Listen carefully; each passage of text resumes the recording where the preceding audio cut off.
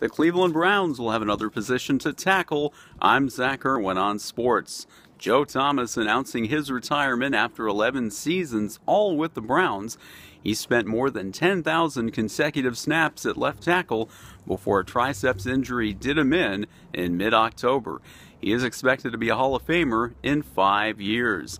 The Arizona Cardinals waived veteran Tyrann Mathieu after the Honey Badger failed to take a pay cut. He played all 16 games for the first time in his five season NFL career. On Tuesday night, the Atlanta Hawks fell to the Oklahoma City Thunder 119 107. Russell Westbrook notching his 100th career triple double in the Thunder victory. Cleveland Cavaliers had no problem with the Phoenix Suns Tuesday night, 129 107. LeBron James had a triple double and sat out most of the fourth quarter. Two more first four games will help round out the field of 64 in the NCAA tournament tonight.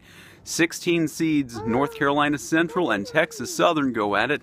The winner takes on top seeded Xavier on Friday night. And Arizona State and Syracuse in the battle of number 11s.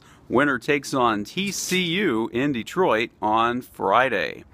And Memphis has fired Tubby Smith after two seasons on the job. Former Tiger and former NBA All Star Penny Hardaway is the favorite to land that job. Now you're up to date on sports on a Wednesday. I'm Zach Irwin.